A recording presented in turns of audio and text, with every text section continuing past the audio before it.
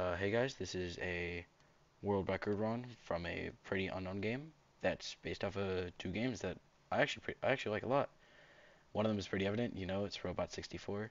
The other one's a game that I haven't shared that I like a lot. It's called Jtoh. Now this is a Tower of Hell themed game where you have to, well, obviously platform through Tower of Hellish like obbies. Now this is Tower Difficulty Chart. This is supposed to be one of the SCs of the game and a really, really, really hard tower. So just enjoy the run of it.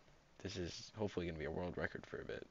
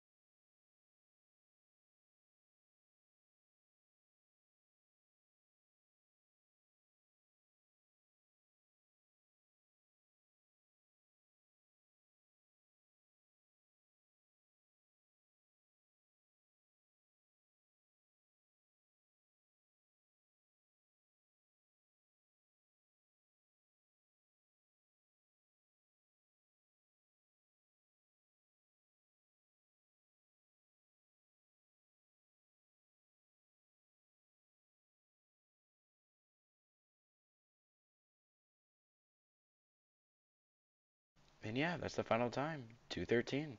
Pretty precise on the dot. I think I could have done a little bit to improve the run, but expect a little more of me in the future. And that's all.